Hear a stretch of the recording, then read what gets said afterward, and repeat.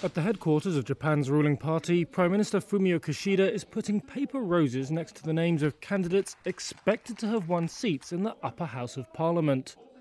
And it looks like the Liberal Democratic Party leader will need a lot of rosettes.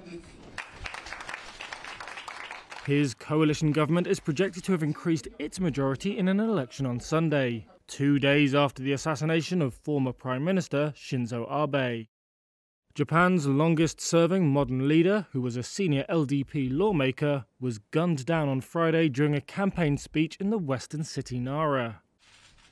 At the LDP's offices, Kishida held a moment of silence. The LDP and its junior coalition partner Komeito held 69 of the 125 contested seats going into the vote.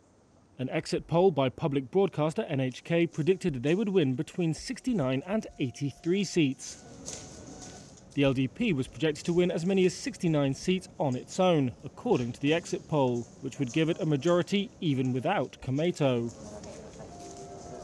Elections for Parliament's less powerful upper house are typically a referendum on the sitting government. A change of government was never at stake, as that is determined by the lower house. However, the strong showing could help Kishida consolidate his rule. It's a chance, analysts say, for him to achieve his goal of boosting military spending at a time of tension with neighbours China, Russia, and North Korea. The gains might also allow Kishida to revise Japan's pacifist constitution, a dream Abe never achieved. Election results are expected on Monday.